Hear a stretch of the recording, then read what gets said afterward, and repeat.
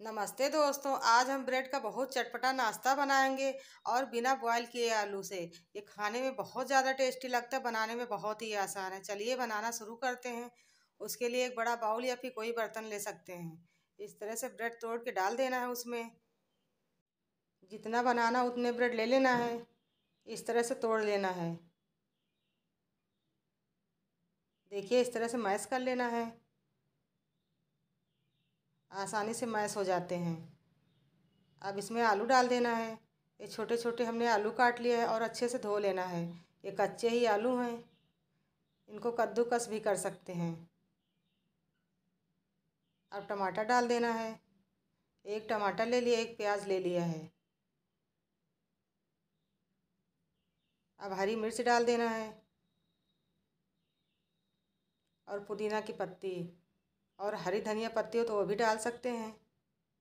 अब हल्दी पाउडर, लाल मिर्च पाउडर, धनिया पाउडर, नमक टेस्ट अकॉर्डिंग थोड़ा सा फ़ूड कलर, इससे कलर बहुत अच्छा आता है।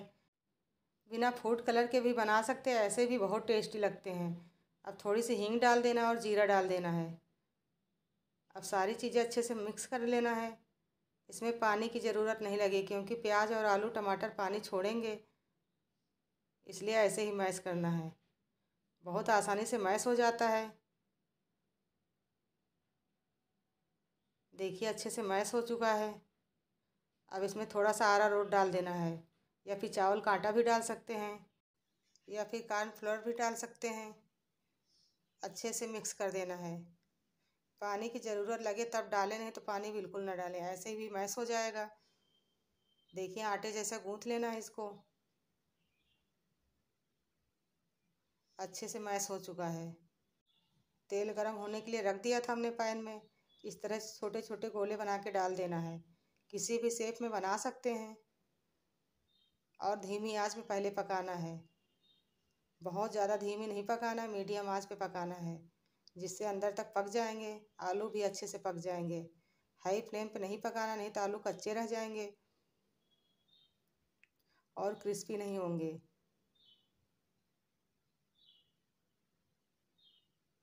देखिए कितना अच्छा कलर आ चुका है।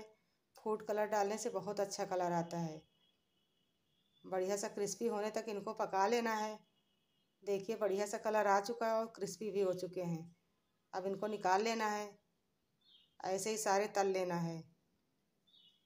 ये खाने में बहुत ज़्यादा टेस्टी लगते हैं। चटनी या फिर चाय के साथ खा सकते हैं। बहुत अच्छे लगते हैं।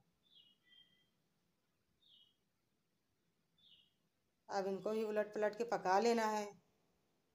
देखिए, सारे बन के तैयार हो चुके हैं और कितने क्रिस्पी हैं ये। खाने में बहुत ज़्यादा टेस्टी लगते हैं। आप लोगों को बहुत ज़्यादा पसंद आएँगे।